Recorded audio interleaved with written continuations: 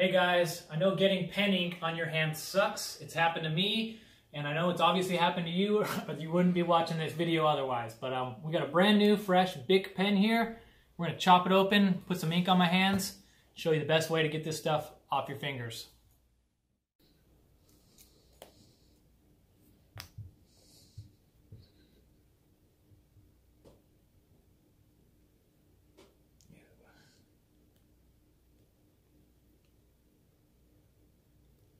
Ooh.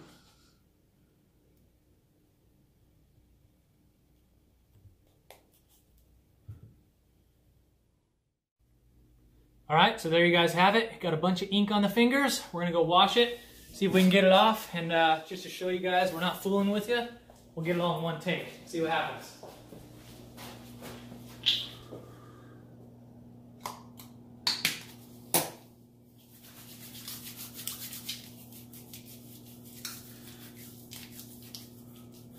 So this is our Grip Clean hand cleaner. It's an industrial strength version. Um, it's got a bunch of cosmetic grade clays and pumice sand in there. You can actually notice the clays have turned from brown to almost purple as it's absorbed this ink. It's coming right off. Gotta give it a good scrub though.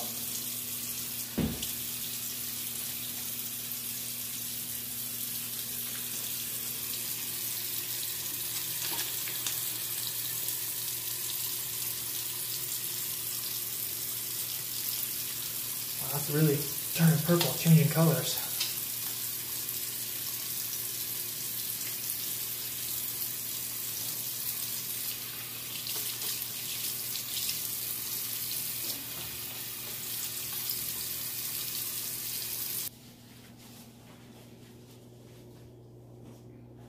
Boom. Just like that, we got it. One wash.